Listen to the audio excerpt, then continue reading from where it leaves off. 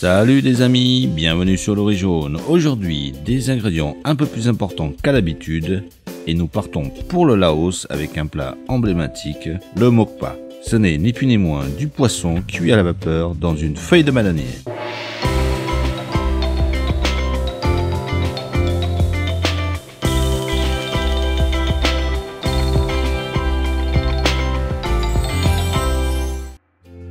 Pour cela, il va nous falloir du poisson. Je vous laisse le choix pour l'espèce, mais il faudra que cela soit à chair blanche. Ici, nous avons du colin, des feuilles de bananier. Dans le cas contraire, du papier de cuisson et de l'aluminium suffiront largement. Du basilic thaï, de la nette, des feuilles de kombawa, de la sauce de poisson, du piment frais, du padek, alors, le padek est un condiment très prisé dans la cuisine laotienne qui est même incontournable. Ce n'est ni plus ni moins de la sauce de poisson fermentée avec du poisson d'eau douce, pour faire simple. Il n'est pas facile d'en trouver dans les épiceries, mais vous avez le mamnem d'équivalent que l'on trouve plus facilement.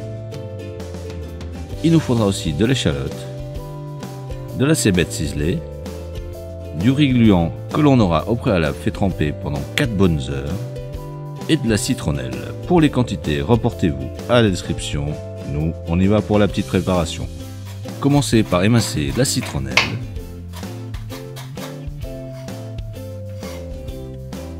L'échalote.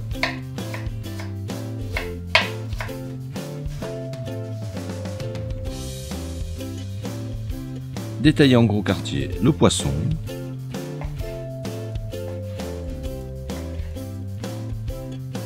Ensuite, à l'aide d'un mortier, y mettre la citronnelle, le riz gluant trempé,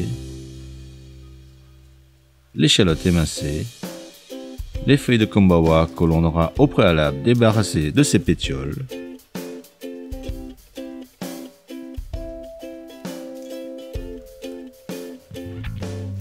et les piments. Écrasez grossièrement l'ensemble. À défaut, si vous n'avez pas de mortier, vous pouvez toujours utiliser un mixeur.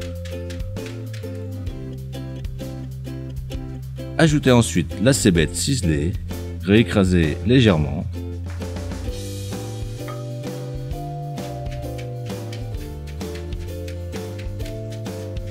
Détachez grossièrement les branches d'aneth.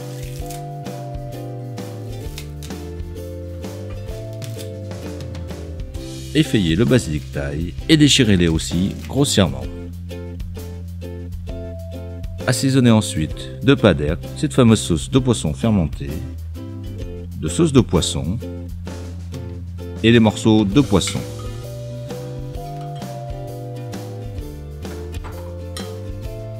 Bien mélanger le tout et passons à nos feuilles de bananier. Les détacher d'une longueur de 15 à 20 cm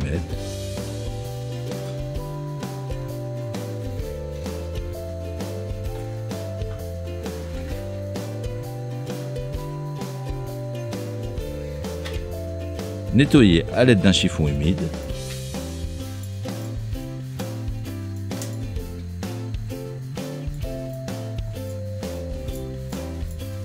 Les passer à la vapeur pendant 5 minutes afin que celles-ci soient plus maniables, sinon elles seront cassantes.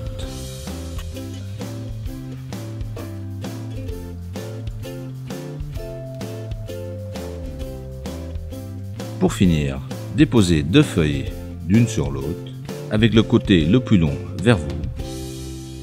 On aura besoin aussi de deux petits pics pour sceller.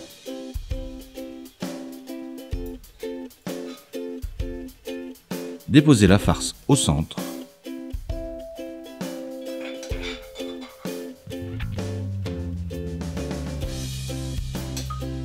Repliez les deux bords.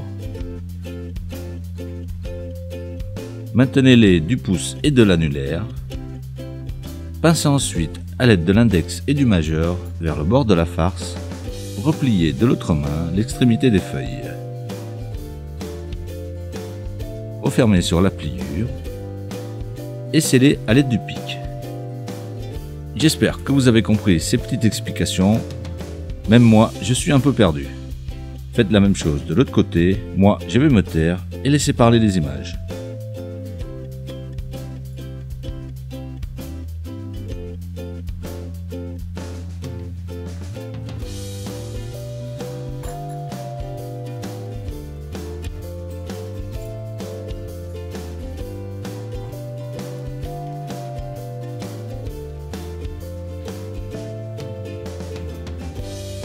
Si vous n'avez pas de feuille de bananier, rien de plus simple, une feuille d'aluminium.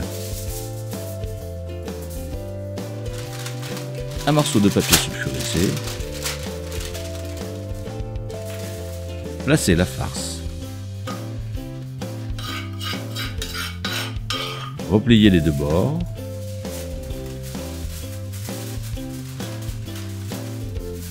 Et repliez ensuite sur lui-même jusqu'à hauteur de la farce.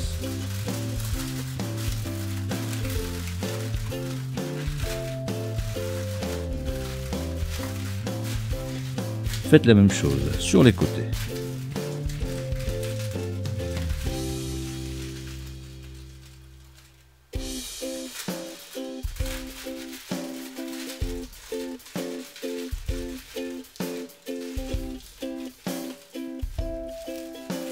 Et on est prêt pour passer à la cuisson. Mettez en marche votre appareil à vapeur. Placez vos papillotes au fond de celui-ci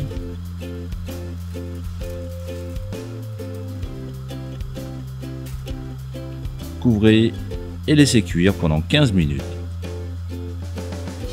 Et voilà, simple et efficace comme d'habitude. Alors, si vous avez aimé la vidéo, n'hésitez pas à la partager et à la liker. Pour plus de détails sur la recette, reportez-vous à la description. Moi, je vous dis à bientôt et bon appétit